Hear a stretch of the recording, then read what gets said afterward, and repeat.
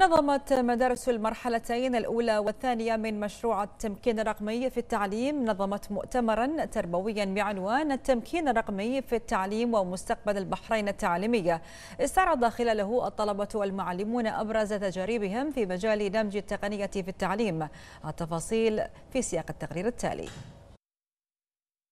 في ضوء نجاح مشروع التمكين الرقمي في التعليم والذي جاء تنفيذا لتوجيهات ملكية سامية من لدن حضرة صاحب الجلالة عاهل البلاد المفدى حفظه الله ورعاه. نظمت مدارس المرحلتين الأولى والثانية من المشروع وعددها سبع عشرة مدرسة مؤتمرا تربويا بعنوان التمكين الرقمي في التعليم ومستقبل البحرين التعليمي. استعرض خلاله الطلبة والمعلمون أبرز التجارب في مجال دمج التقنية في التعليم خاصة ما يتعلق منها بالتطبيقات التعليمية الرقمية والمختبرات الافتراضية للعلوم وتقنيات التواصل التعليمي الإلكتروني فضلا عن أوجه استفادة الطلبة ذوي صعوبات التعلم من الإمكانات التعليمية المتطورة للمشروع. وقد حضر سعادة الدكتور ماجد بن علي النعيمي وزير التربية والتعليم جانبا من فعاليات المؤتمر الذي احتضنته مدرسة الاستقلال الثانوية للبنات حيث اطلع على نماذج من التجارب المتميزة للطلبة والمعلمين. أولها تجربة إنشاء القصص التعليمية الإلكترونية لمدرسة القضيبية الإعدادية للبنين والتي استطاعت توظيف إمكانات تطبيق رقمي خاص بإنشاء القصص لإعداد قصص ذات صلة بدروس دروس مادة العلوم لخلق بيئة تعليمية مليئة بالتشويق والمتعة. لا شك أن هذا المؤتمر اليوم عن التمكين الرقمي في التعليم آه، يعطي دلالة واضحة على نجاح هذا المشروع داخل مدارس وزارة التربية والتعليم والذي يأتي أيضا مكملا ومعززا لمشروع جلالة الملك حمد لمدارس المستقبل.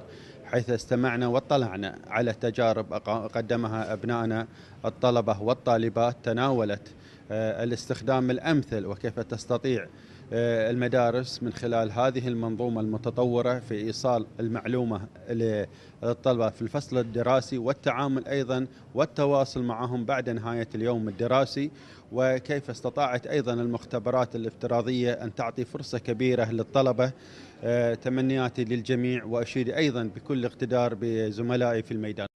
شهد الوزير عددا من جلسات النقاش الطلابية التي تناولت آراء الطلبة ووجهات نظرهم في مجالات التعلم الإلكتروني كافة.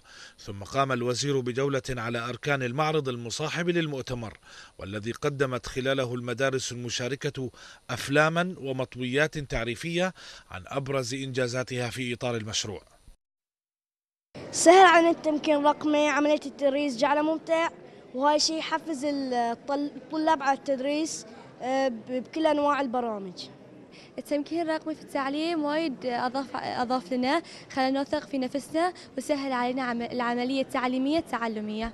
التمكين الرقمي ساعدنا في وايد أشياء طور العلم وخلى العلم أحلى وأسهل. وأشكر جلاله الملك على المشروع. فادني وايد من ناحية وقت من ناحية الناس يعني يخلينا نستمتع وإحنا ندرس ويعني تدش المعلومة أكثر. التمكين الرقمي الدراسة والحفظ وسهل علي كل الاختبارات والامتحانات. برنامج انكلوزي لايز هو برنامج نستخدمه في الصف وحق حل الواجبات. آه، يعطينا لستة واجبات ونحلها في الصف سؤالين أو أكثر. سهل على حل الإجابة اللي يخجل آه، راح يجاوب وما يخجل. التمكين الرقمي هو وسيلة جديدة يعني في البحرين حق تعليم الطلاب بطريقة أسهل. وهاي يساهم وايد يعني إنه يخلي الطلاب يحبون المدارس. يعني التمكين الرقمي يخليهم بطريقة انه بالإنترنت ومعروف إن الناس يعني في هالجيل يحبون الأشياء الإلكترونية. تشرفت اليوم إني أنا كنت عريفة مؤتمر التمكين الرقمي اللي شكل لقاء متميز بين تجارب من مدارس مختلفة في توظيف المستحدثات التكنولوجية في التعليم. وما أعتقد إن في أي أحد اليوم ما استفاد سواء من التجارب المتميزة اللي عرضت أو المناقشات اللي تم تداولها. آه، بعد ذلك بصراحة أنا جدا تفاجأت بتكريم آه، سعادة الدكتور ماجد بن علي النعيمي آه، تكريمه الخاص لي كونه أعجب بإلقائي للمؤتمر وهذا يمثل شرف كبير لي ولحظة ما راح أنساها أبدا.